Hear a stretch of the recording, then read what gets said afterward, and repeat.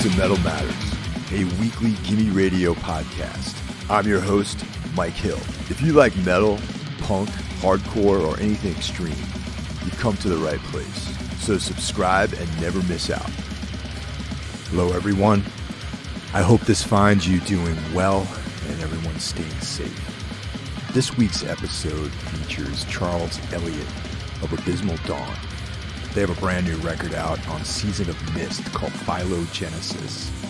And Charles uh, hung out for a while, talked about the record, talked about the last several years and the difficulties and obstacles that he had to overcome to get to this point.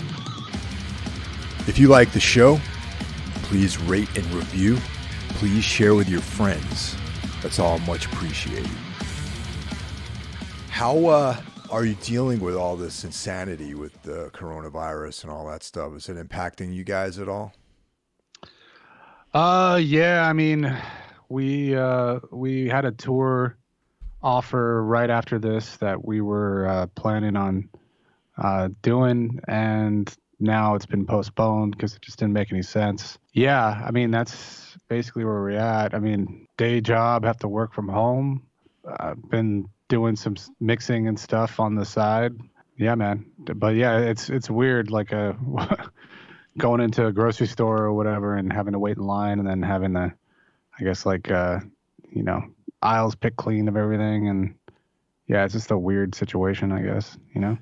Yeah, that's pretty. Uh, the the whole hoarding thing is the thing that makes me uncomfortable. I mean, uh, it's this weird hysteria that has erupted as, as a result of this. I mean, I'm, I'm not saying that this isn't something to take seriously because it is, but uh, the people's reaction is um, more alarming than what's actually going on. I think sometimes. I mean, I don't, I don't think much of people, so I'm not that surprised. you know what I mean? To be honest, like I feel like it's, it's not as bad as it, it could be. To be, you know, um, maybe, maybe because I'm a pessimistic person. I'm, a, and my my my uh, standards are always low. I'm always pleasantly surprised. Like I haven't been seeing like you know riots in grocery stores or people freaking out or um, anything personally, but uh, it, it seems like for what it is, it, it's not that bad. Yeah, the hoarding thing sucks because everyone's freaked out and they think, you know, food's gonna be gone or there's gonna be like you're not gonna be able to go to the grocery store and feed your family because you're gonna be locked in your your place on you know on in quarantine for however amount amount of weeks or months. So I understand that it could be much worse and it could get much worse. So I don't know. Yeah, it's unfortunate because you guys have this record that's coming out like in a couple weeks, uh, Phylogenesis, and uh, it's the first record you guys have put out in like what, like five or six years. And um, yeah, almost almost six years, man. Yeah, and uh, the and last then, one was on Relapse, so you guys are on a brand new label. You got a brand new record, right. all that sort of stuff.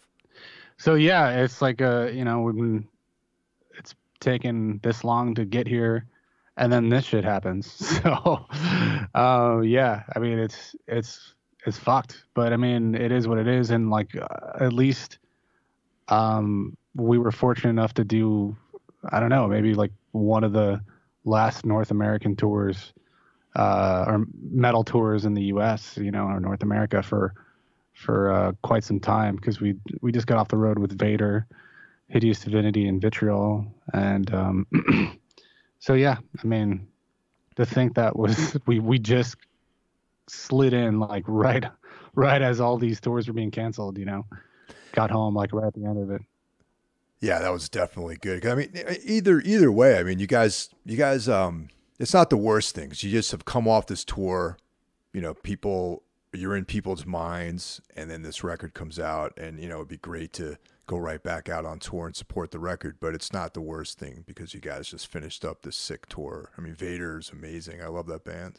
It could be worse, like like I was saying. Um, and you know, like people wait a long time and they'll get the record, and I don't think I don't know. In the end, it's not going to hurt. I don't think. You know, I mean, it's it's not ideal, but the whole, I guess, uh, business model. I feel of you know needing to be on tour uh, to prove something for first week sales or something, you know, is just kind of going away. and it's more of like the long game, I think, you know, and with how uh, you know if we leave a lasting impression and people are still we still have fans basically, you know. It's not it's not going away just because we're not touring like right as the album comes out. So trying to work look in the bright side at least, and I think you know there'll be a lot of bands that want to tour and we'll be one of them once this is all cleared. It's just going to be weird because everyone's going to want to tour around the same time, you know. Um, so we'll see what happens with that. But I think people might be so excited to hear new music or hear and see music again live. It might not that be that big of a deal.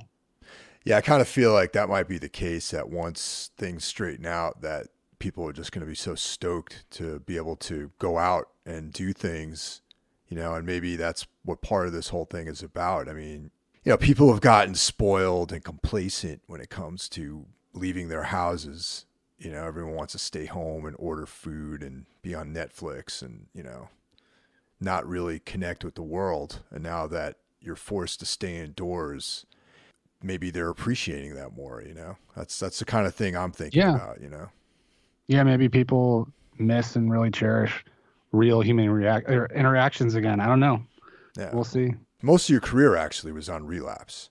And uh, like I was mentioned earlier, Obsolescence came out uh, almost six years ago. And now this new record is on Season of Mist. So uh, did you guys just finish your, your contract with Relapse and move on? And, you know, was uh, what, what was the story behind changing labels?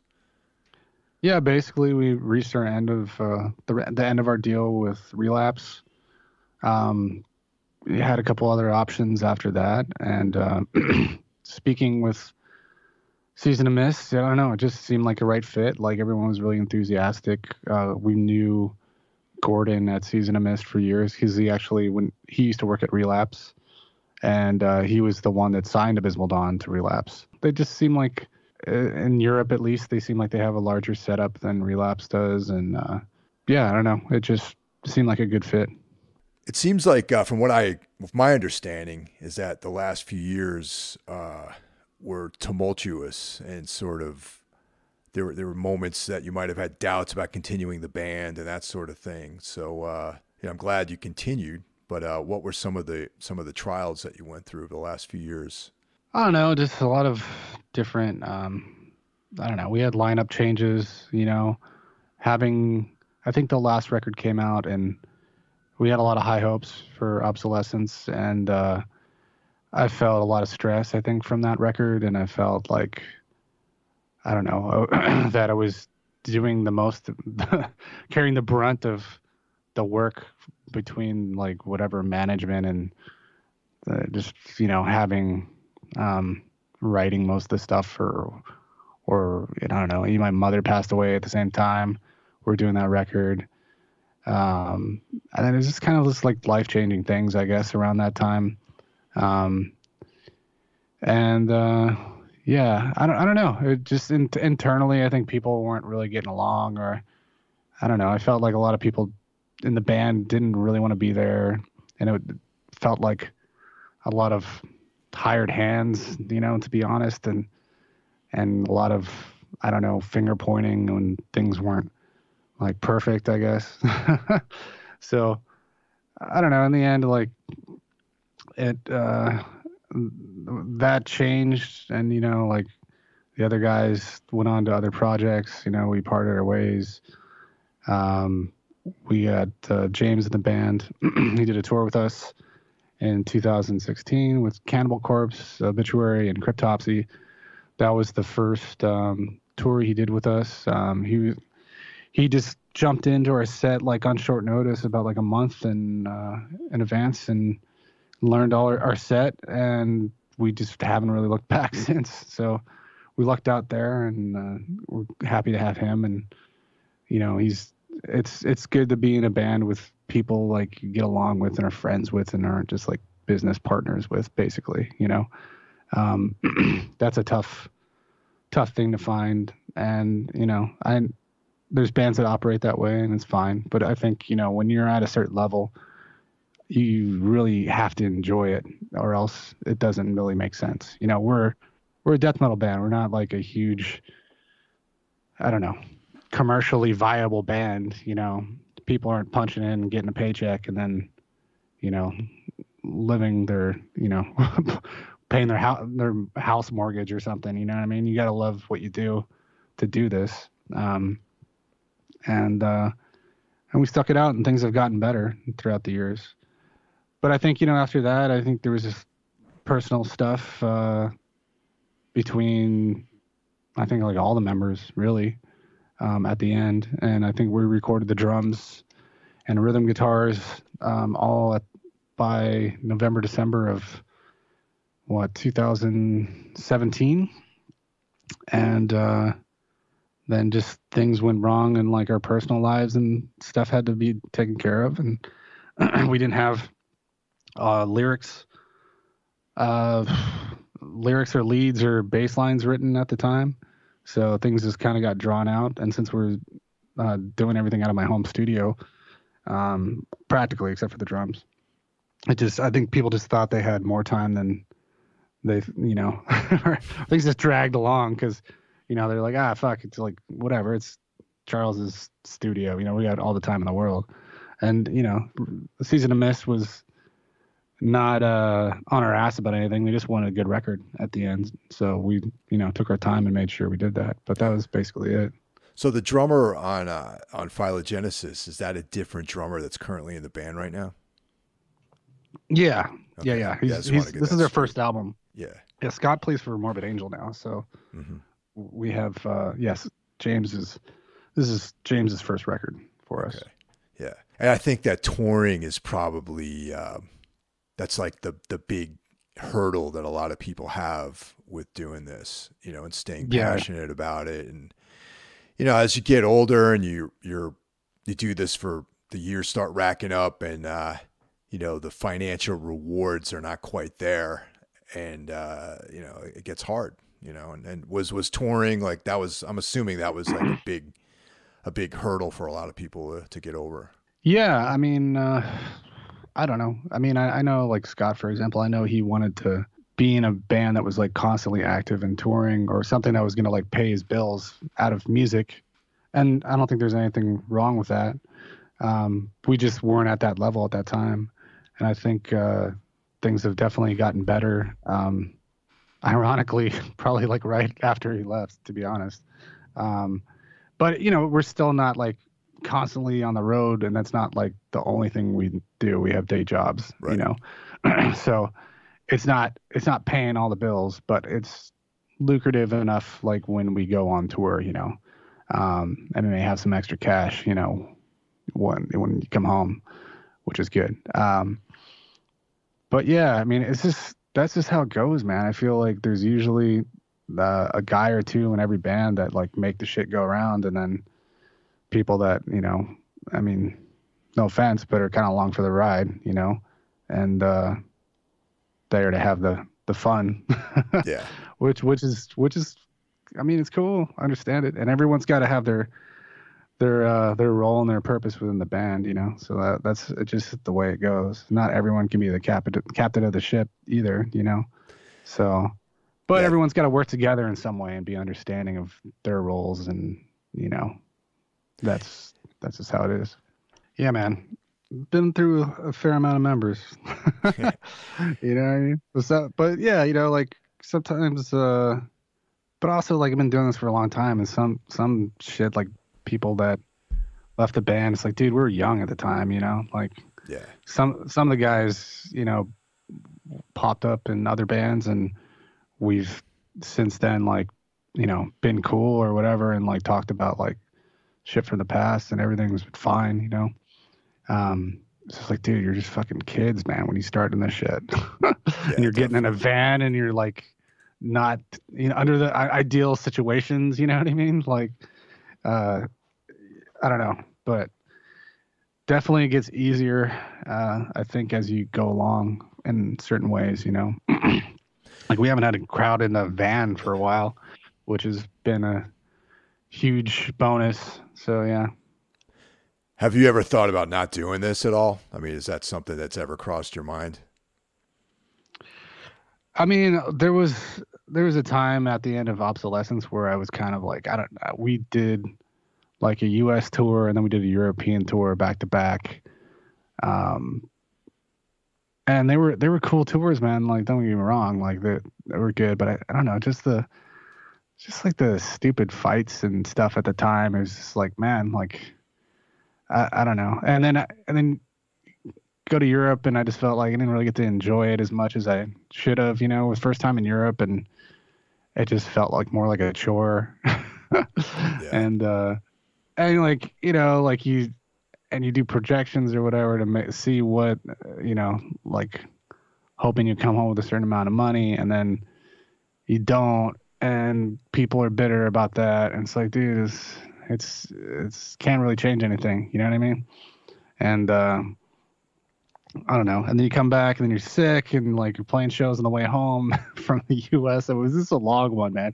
And I think I was just thinking, like, fuck, like why, like why am I putting myself through this? Like, what am I doing this for? You know, it felt more like uh, starting to feel more like a job, and I, and I don't know.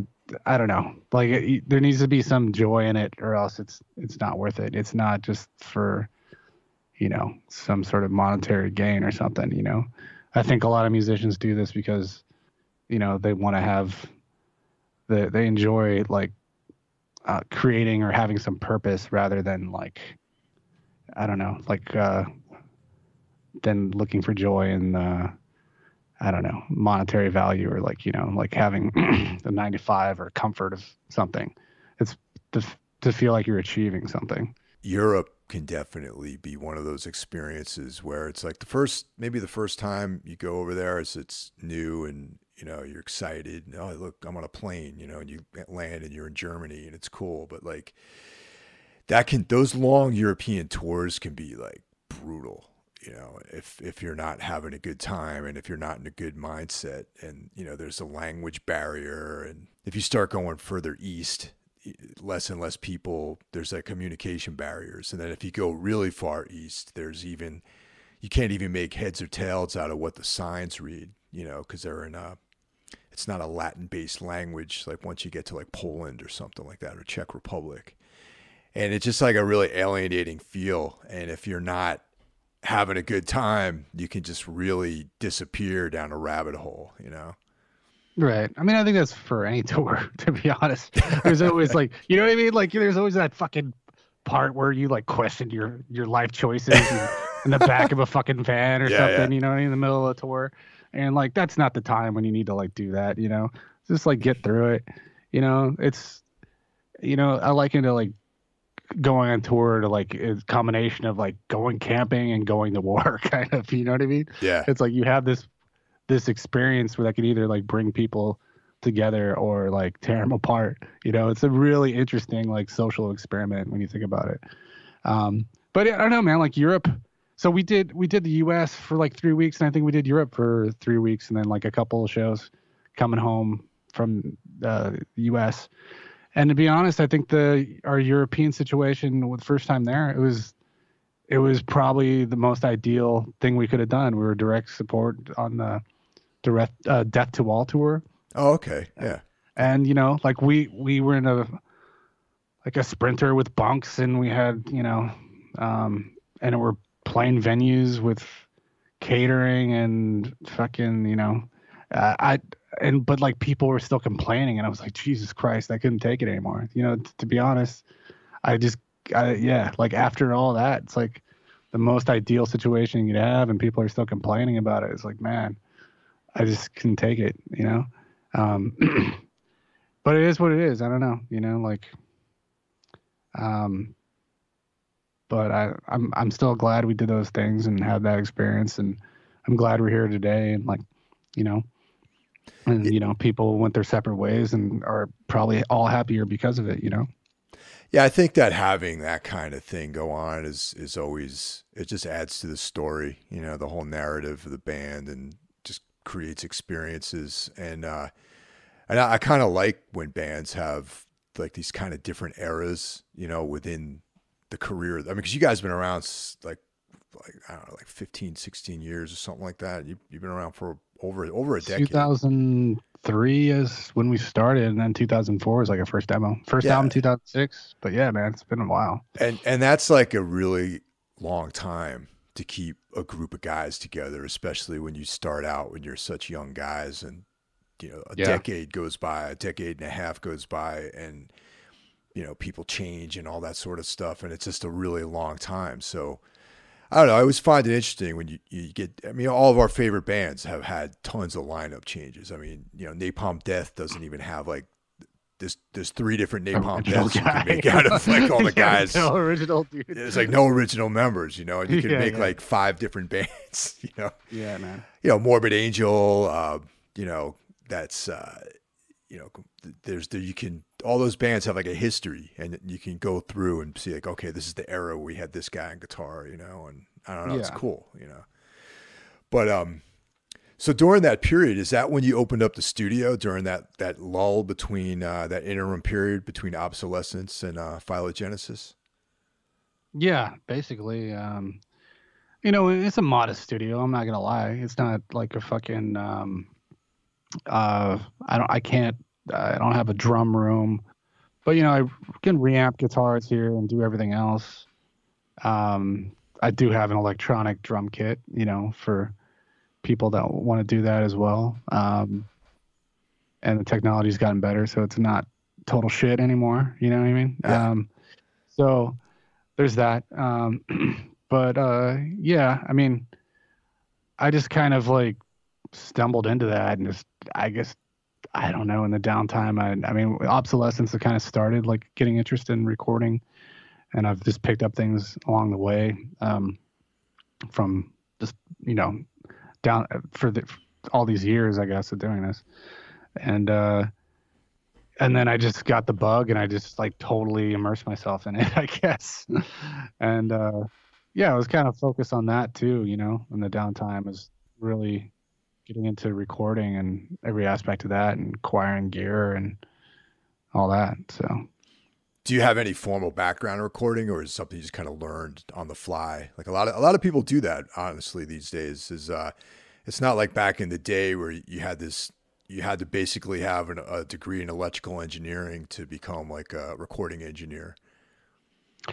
yeah, no, I don't have a degree or anything like that. I didn't go to school for it. I mean, it's all basically um, self-taught and learning stuff online. And um, I know, like, uh, I friend Eyal who does the like nail the mix stuff.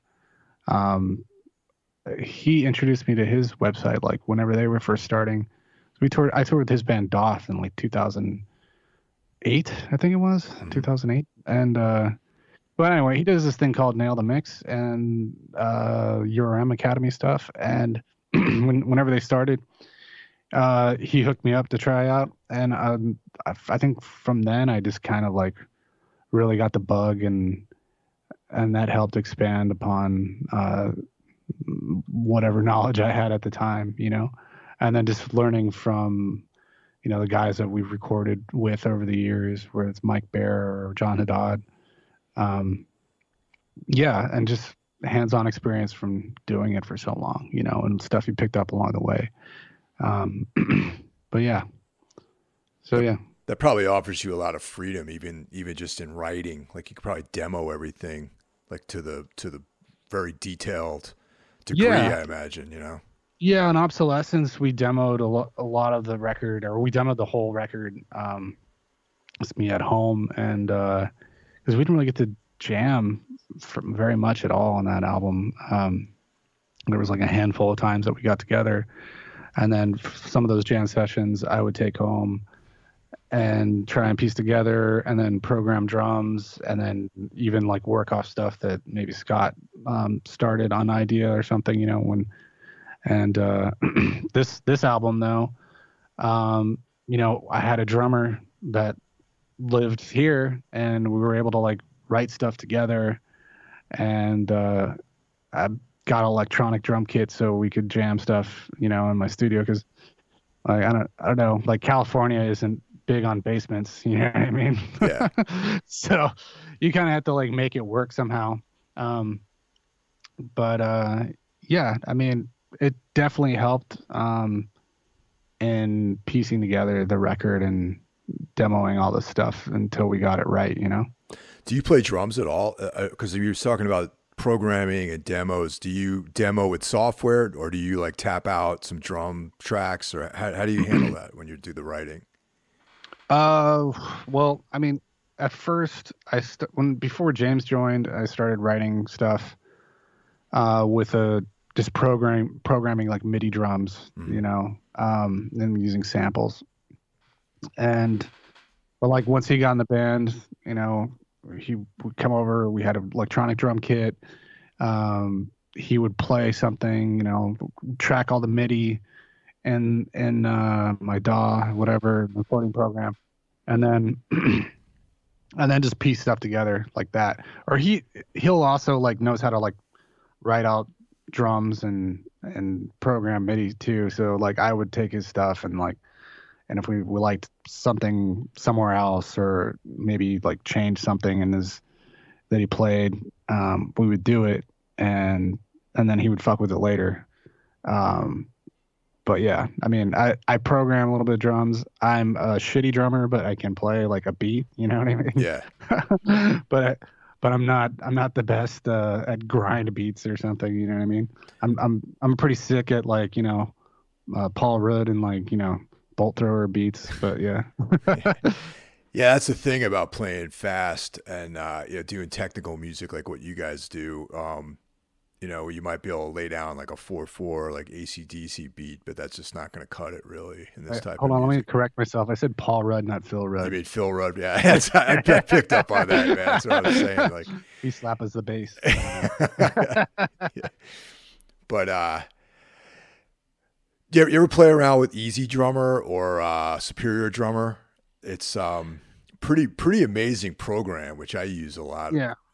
Yeah, it's it's uh, makes makes demoing and stuff. You can do the whole thing basically just in your your apartment, you know, because right. Yeah. No, I uh, I I had I guess on obsolescence I had a drum kit from Hell. I think. Yeah. yeah. And then on this record I was using the SSD4 and I upgraded to SSD5, the Steven Slate drums. Like after, um, they just integrate good with the I don't know the the drum module that I'm run, running and the the um, the MIDI MIDI drums and all that. Yeah, I'm always interested to hear how other people do this kind of stuff, just because um, you know some bands are all about just playing together in a room, but it sounds like you have you're probably or were at least in a similar situation where none of the guys lived locally, but now now you have a drummer that lives in town, so it's a little bit easier. Yeah, because some of the coolest shit comes out of the jam sessions. You know what I mean? Yeah. And you don't have that. It just, I, I don't know. It, I, it's not terrible, but I feel like it misses something sometimes, or just you know those uh, um, synchronicities of just playing together sometimes. It's funny to think back to. Um, I mean, I, I don't know. Are you are you a '70s rock fan. I mean, I know I know you like ACDC because you mentioned Phil Rudd, but do you uh, obviously? I'm assuming you like Sabbath and Zeppelin and stuff like that. You know? Yeah, yeah, man. And what's crazy is to think about how those guys recorded. How it was like oh, Zeppelin oh, was kind of just like the band in a room, really. You know what I mean? Yeah, but even some of those, you know, crazy production albums, you know, are like where it's like Dark Side of the Moon or like Night of the Opera or something, and you think about like how they tracked that and how you know they had to mix it by hand and you know what I mean, like the little automations and shit. Uh-huh. Like that's fucking amazing to me. Like and and like uh, I mean they're not playing maybe as tech as stuff, but it's still it's like man that was that was like at least play, people fucking like didn't punch in like a million fucking times and you know what I mean? Yeah. Like really played that shit, which is fucking great, you know? Well, well, a testament to that is like live records too, man. Like back in the '70s, I feel like bands, every band had the, the live album. You know what I mean? There was like yeah. the song I mean, it's the same for Zeppelin. Like Sabbath had a couple of live records out there. Kiss had, you know, Kiss Alive one and two. You know, and and you know, I, I later on, I guess I found out that I think maybe the Thin Lizzy live album might have been like doctored up a bit, but at the end of the day, that's what the band sounds like, and it's pretty amazing if you think about and, and you think about how you you hear live recordings now, and it's like it's kind of like different. You know what I mean? I thought Kiss Alive was bullshit. I thought that was in the. In well, the well, that's that was one of the I one of the things I found out that it was bullshit. Yeah, like, yeah. Like I know the Thin Lizzy one too. I I heard part of that was doctored a little bit, but the Kiss Alive stuff was definitely not real. Yeah. right. Yeah, yeah. Oh, what's that? That Slayer record too. Um, I mean that's '80s, but it was the the first the first live album, not Decade of Aggression, but the there's one in the studio too. I think. Oh yeah. Well, that's not that's not them live. That's like some studio trickery. No, no, Decade of Aggression is is live. Okay. I don't think I don't think you could ever say that it isn't live. That's raw as fuck. Yeah, that's what I was gonna say. I was like, damn, they could have did a better job doctoring it up. I was like, dude. it's funny. Um, but yeah, man. with this new record, uh, so that was done over a long period of time. So you said you did the drums earlier, and then you guys there was like a lull, and then you went back and finished the record. And uh, do you find like lyric writing to be the worst part of the of the of making an album at all? Dude, I fucking hate it. I like I'm so fucking over it, man. Like I think uh you know, like for this album cuz at cer- a certain point and I guess that's part of the reason this takes a while and uh uh it's like you, know, you run out of shit to say. Yeah, and I feel like you need to like wait and let life happen in order for you to like kind of like reload your ammo on shit to say. Um, and you know, enough life happened to me that like I had shit to say basically on this record. Um, and it's hard. I mean, I think when we first started, I was thinking about doing a concept record, and um, I don't know, had this whole idea about it, like super nerdy, fucking, you know, like sci-fi sort of like concept album for it, and like, and I started it, and uh, and I just had like no emotional co- uh, connection to it. I felt like I was like, you know, reading off like scientific facts or some bullshit, and Yeah. just it just didn't feel like right. So I scrapped that idea and just started like sort of like, you know, scrawling shit from the heart or you know um and and then c- concepts would sort of come based out of that and yeah i don't know um uh but yeah i mean i lyrics are tough man and uh and i feel like for me i usually go to like sort of a dark place for it and when you're not in a good place already at a pretty particular time it's it's not fun. Yeah, no, it, it took it it took a, a yeah. I like by the end of like recording the vocals and like you know writing all the lyrics, I was pretty much done like mentally. Like I wasn't wasn't in a good place. So so finally being done with it, I mean, yeah, that was a huge relief, I guess. When it was so yeah. Now, do you keep uh, like a notebook that you work off of, or like when you do you just decide, okay, now it's time to write lyrics, or is it something that you kind of chip away at over time? Because uh, yeah, once again, I'm always interested to hear how people do it because everyone seems to do it differently. I don't know. I think my process like changes for every record. I mean, for this album, I did try and take like a bunch of notes of like if, if I thought of something I thought would be cool, or if I heard like I don't know, like a bit of inspiring poetry or something, or like or or just words that I like the sound of because I just like the sound of words sometimes, you know Yeah, uh, yeah, I'd write it down and have like a sheet I would go back to and consult as I went went along. Um, but yeah, man, I don't know. Like at the end of the day, I think I I did just sort of uh, um, demo like make a bunch of noises and words that I thought like um, made sense like off the top of my head yeah, and then and then sort of like go back and like make sense of things and like rewrite stuff and um but have like the sense of at least the the vocal patterns before I went to work on writing the actual lyrics so yeah. A lot of people do that actually. I mean, that's um. I think there was like you can find online like some kind of like James Hetfield vocal pattern recordings of some Metallica songs, and uh, you know, a lot. I, I know most. I, I do the same thing. I'll I'll record versions of just like the sounds of what I want it to sound like with a demo, and then use that as like a template to kind of fit the words together. I think that's a, a pretty useful technique, you know. Yeah, man, totally. It definitely definitely helps. So you originally you said you wanted you were thinking about doing some kind of concept record, but at the end of the day, looking back on your lyrics, did you do you see any kind of overarching theme between all the songs?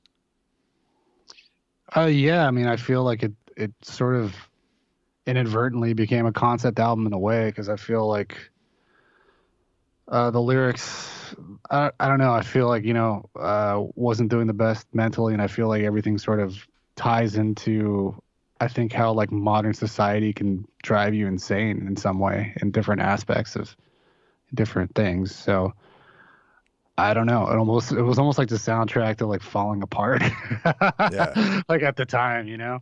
Um and like the, the title phylogenesis was sort of meant to be it could be considered like just as it is like an evolution i guess for like the band. Or it can be considered more like a a, a negative thing and like how we've de, de-evolved as a society. And uh so yeah i mean it, it has some sort of concept tied into it like inadvertently. So i don't know. Yeah i was going to ask you about the title because uh, i couldn't quite decipher what that uh, if there was a meaning behind that or anything. Yeah. So uh, specifically with the de-evolution of society, like what what are some of the things that you see in society that are uh, that are on the brink of collapse? I don't know. I mean, I just feel like with you know like social media and stuff like that, I, we just feel more disconnected than ever, but still like everyone is connected and everyone's got a voice. Everyone's, you know, screaming at, over each other at the same goddamn time. Like no one's like has like a I don't know, a dialogue where they sit sit down and talk about things intelligently. They just, you know, everyone's shouting their opinion over each other. Everyone's everyone's bringing their own life narrative into, you know, their their objectives or how they see society and what they want. And and I understand that but I also feel like people aren't open-minded enough to I don't know um, see shit from other people's perspectives. And I think that's always changing things and we should be open to like dialogue. And I feel like that's not a thing anymore. Everyone and on any side of whatever political spectrum or belief system you're on like everyone's just like nope fuck you. This is you know this is what i believe or this is you know like there's no no open dialogue or you know um, reason with people anymore. And i think that's really bothered me over these past few years. Um yeah. Yeah i feel like that's escalated man and and at some point um socially I feel like there's going to be some kind of like uh, climax that's going to happen eventually, just between all these people shouting at each other virtually. Um, yeah, you know, it's ironically, I mean, you know, it used to be, you know, per, being progressive used to mean that you had an open mind to other ideas and you were tolerant. And nowadays, it seems like it just means that you have to be tolerant in a very specific way and that right, which is fucking retarded. Yeah, it's ridiculous. like it's it's almost like, like you, gotta know, be being... tolerant of everyone's stupid fucking feelings. Like, come on, man. like, I mean, yes, sure, you can be to- tolerant, but like, uh, not everyone. You can't. I don't know, man. Like, er, you gotta like watch, walk around eggshells of, for everything. Uh, the afraid that you're gonna hurt someone's feelings when maybe you're fucking right about something, you know, or you or you can you can't have a discussion about it because that hurts your feelings. Like grow the fuck up man. Like really like seriously like i can't stand that. Like people need to grow up. Like life is not gonna like bend to your will to make you comfortable you know? I don't know where that fucking came from but it needs to stop like seriously you know? Yeah, I agree, man. That's that's like the worst. And uh, I mean, you know, like most people listening to this this uh, podcast, and you know, me and you, and every, you know, we got into extreme music because we wanted to push things. You know what I mean? And and like the music and the art, and you know, movies, literature, like comic books, like whatever, horror films. It's because we were into extreme shit, and that resonated with us on some level. And being offended is it's like okay if you're offended then this isn't for you but you still were you you can live and let live and now it's like that's just off the table like you have to adhere Right. and comply with everything and that's the fucking worst. Yeah. worst That's ridiculous, man.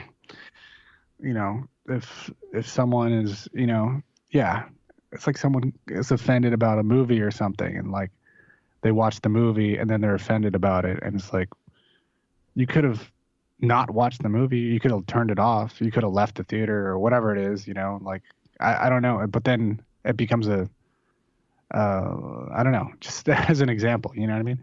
I just I don't understand how why people think that everyone else is responsible to make them feel comfortable about everything. I just don't get it. but the one the one thing that gives me solace though is uh, did you see the joker film that came out last year Oh yeah, man, it's fucking great. great loved it and Yeah. the the one solace i get is that that movie kicked up so much controversy and it was like you know this like uh you know eulogy for the right wing or whatever that some people saw it as this like right wing uh you know male kind of trip you know it, however as despite all that the movie like totally killed it at the box office and tons of people Yeah. saw it and it won a fucking some kind of uh you know like a movie award like a i don't know fucking golden globe or some shit But how is that like a right wing movie? That's the thing. Is like there's so many fucking. That's what I mean, man. yeah Like there's so many things like that where like I don't know. Like I used to think I was like kind of liberal, but now like I uh I don't know like to what people think liberal is or how liberals act or you know what I mean. Like not to get too fucking into politics, but like like I realize I I'm I think I'm kind of middle of the road or I like or I don't know. Just I'm not. I don't like what I, any of these people are fucking saying, like on either side. Yeah, you know what I mean? yeah So, and like, I just wish we could get back to like, I don't know, like using logic and reason. I don't know. Yeah, like saying Joker is a uh, some sort of right wing tool. That doesn't make any sense to me at all. Like, what is that? I mean, if I think if that movie had come out like ten years ago, you know, it'd be seen as like what it is, like this art piece and about someone basically like what I was saying. I, you know, I saw that movie after her album was done, and and it was kind of like encompassing sort of the, the things I was feeling at the time. It's just like how society and people are just like not taking care of each other and just driving people crazy, you know. Um, he he's sort of an anti-hero hero in the movie, and like you don't, I don't know when you watch that, I, I don't. I know it's dangerous to like maybe to say that you you feel for him or understand, but you do. you know, like society creates these people. You know what I mean? And everyone has their own path, but you still empathize for that person when you know that maybe you were at one point a step away from being, you know, losing your shit too. You know, so that's that. I don't know. I yeah.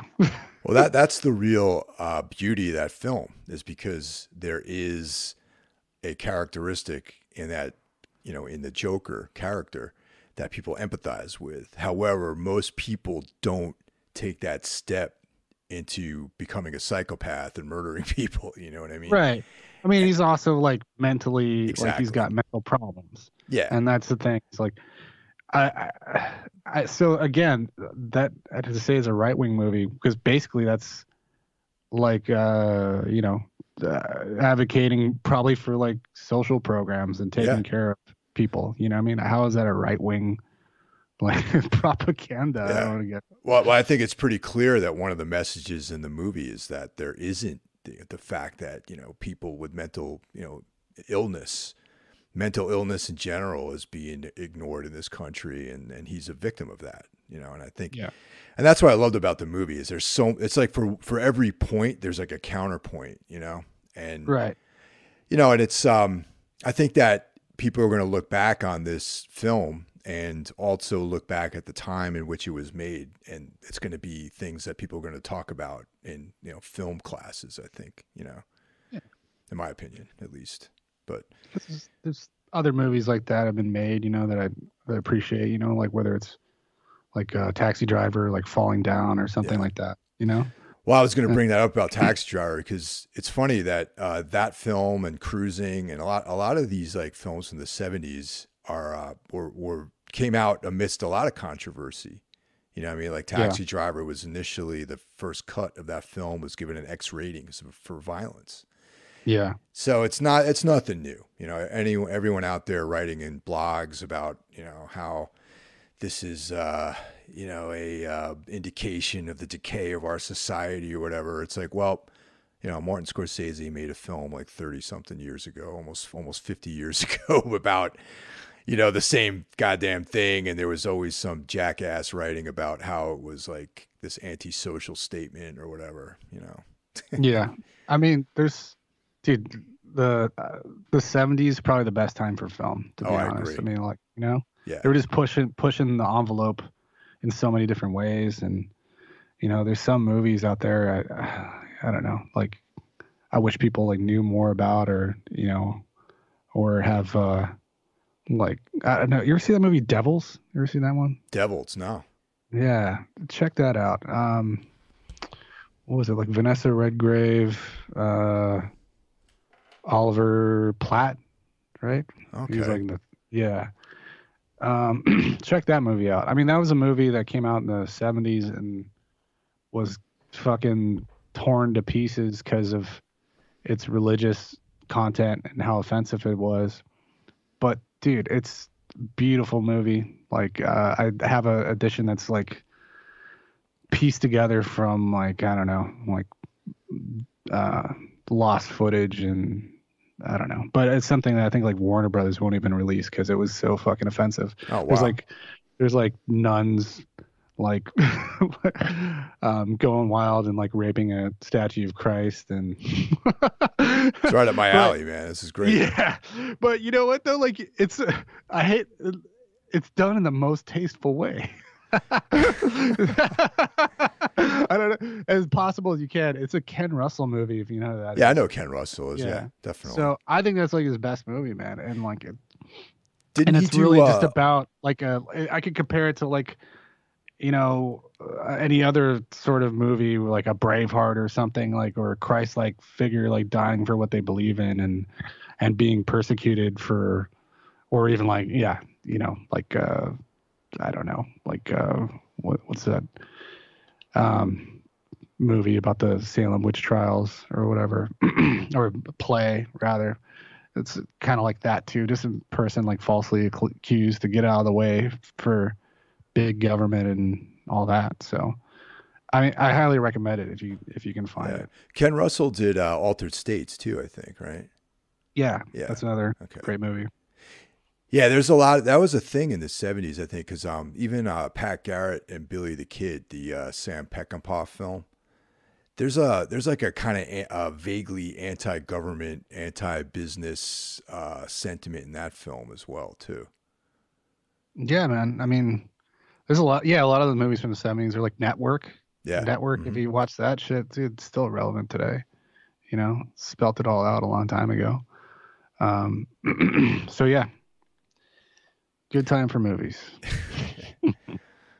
But you know, once again, it's like offensiveness, all this stuff. It's I I just wish people would would be able to see beyond their own weird, like whatever whatever trips they have about hangups about certain things. You know, it's just it cuts you cuts you off from like a whole world of other things you could be experiencing.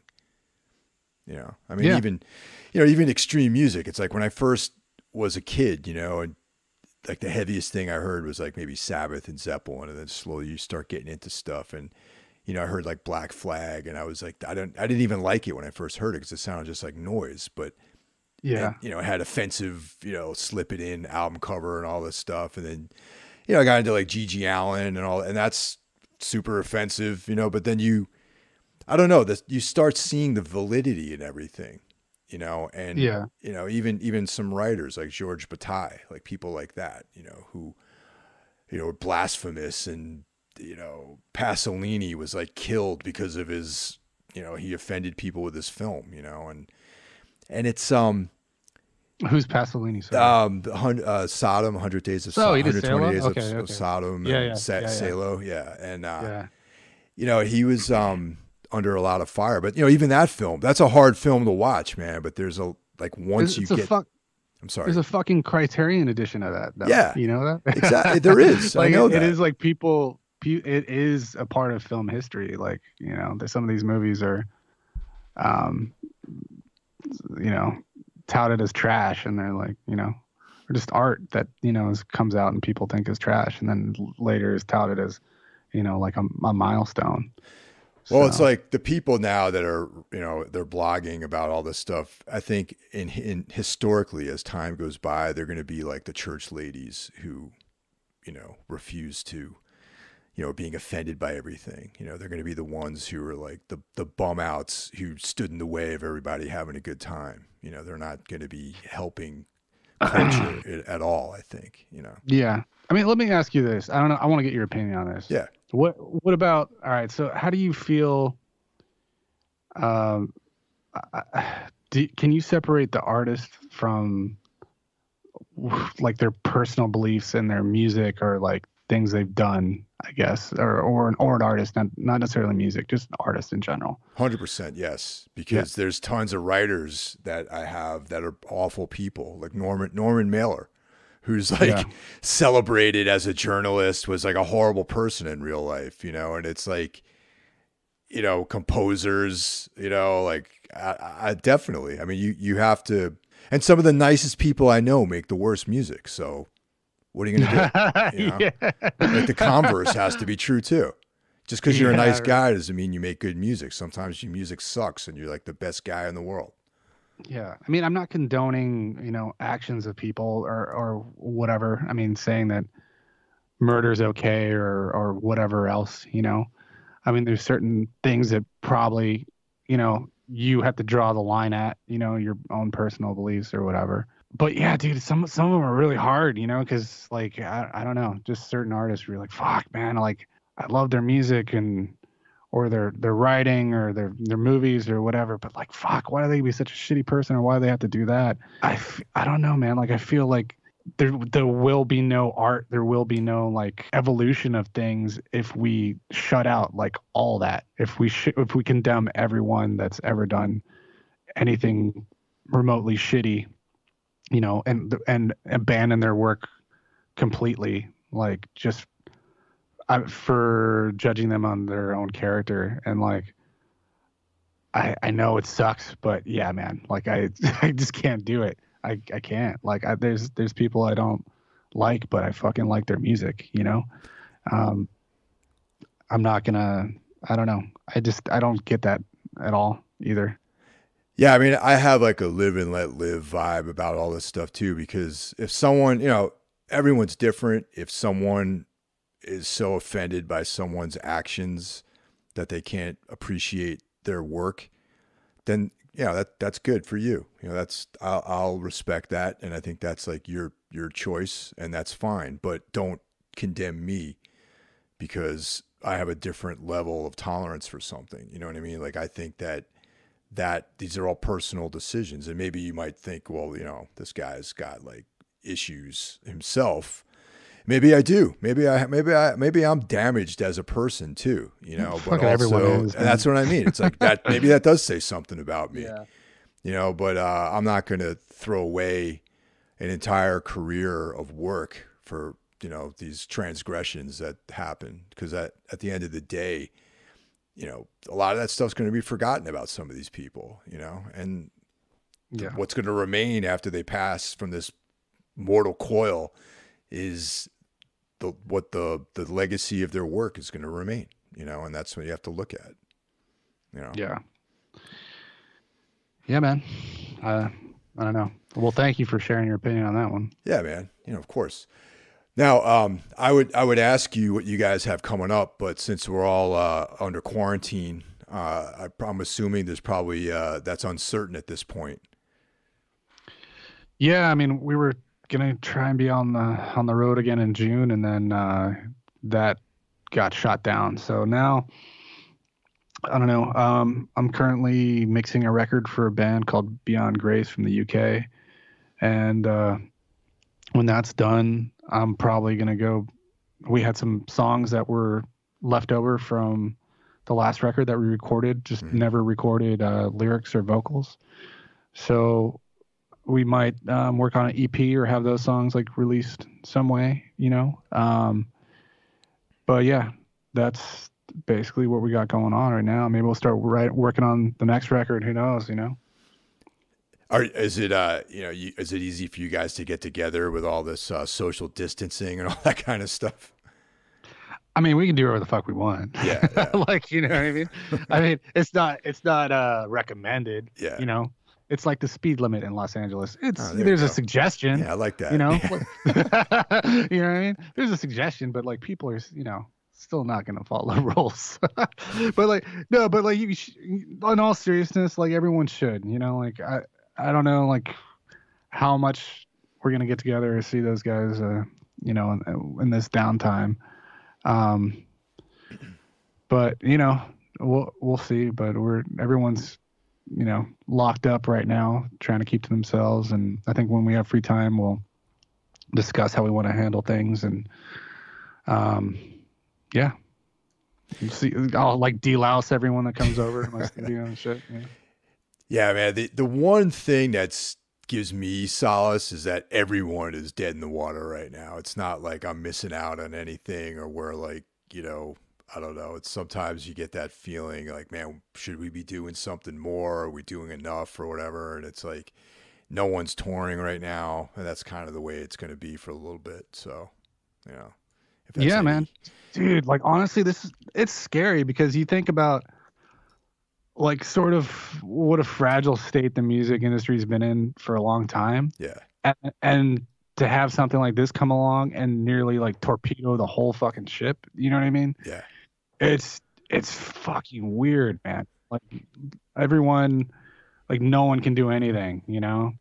Um everyone's got to become a fucking bedroom guitar player like fucking, you know, like YouTube social media whore in the meantime, which which sucks, you know, because for certain bands, you know, that's not our thing. Yeah, definitely not my thing. you know, yeah. so, um, and you know, some people do that just fine, and I, I'm just, I'm sorry. I know it sounds like I'm knocking it. Like I know, like times are changing, and people need to do different things to like stay afloat and adapt or die and all that. You know, it's just certain things I just I don't want to like stoop stoop to, you know, like I just, it's not part of my personality. So I don't want to fucking do it. You know, I think, I, I, don't know, like I said, hopefully uh, when this all eventually gets straightened out, uh, people appreciate it more, you know, that's what I'm hoping for. Yeah, me too, man. We'll see. Well, thanks, Charles. I appreciate it uh, taking the time out, and um, yeah, man. Hope to see you soon, man. Hopefully, we get all, get through this real quickly, and uh, get to see you guys out there on the road again. Cool, man. Thanks a lot. All right. Take man. care, man. All right. Have a good night. All right. You too. Peace.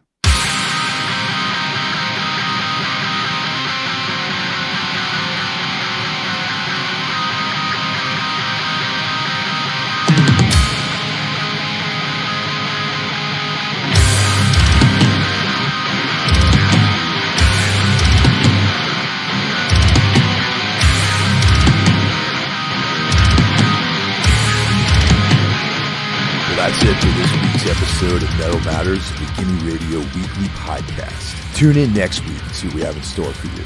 The show is available on all streaming platforms, Apple Podcasts, iTunes, Spotify, etc. Also, be sure to check out Gimme Radio, streaming on the web, iOS, or Android, for one of the best metal communities, exclusive merch, interviews with artists, and so much more.